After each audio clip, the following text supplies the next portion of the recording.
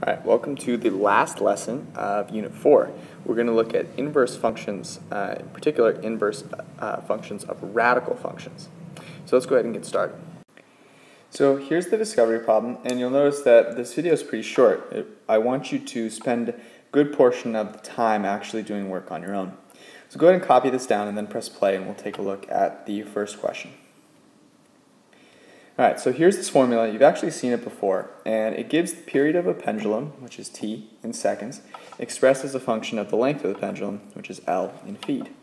So part A, I want you to find the lengths of the pendulums that produce periods of one second, two seconds, three seconds, four, all the way through eight seconds.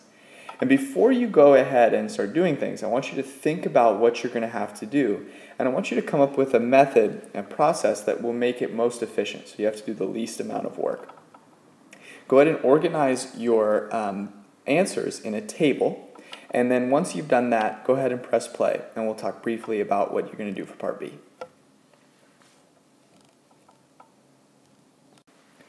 All right, so Notice that what you could have done, instead of potentially plugging in your t values and solving for L over and over again for all eight of these t values, is you could have went ahead and just solved for L straight off the bat.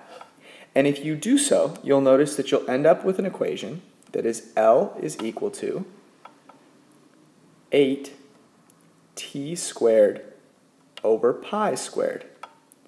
So if you don't see that, go ahead and solve this equation for L so that you get this here.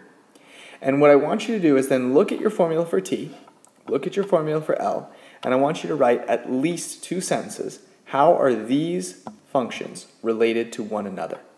I want to give you a hint. Pay attention to what type of operation is happening to the independent variable in each of these functions. Come to class ready, and we'll discuss tomorrow.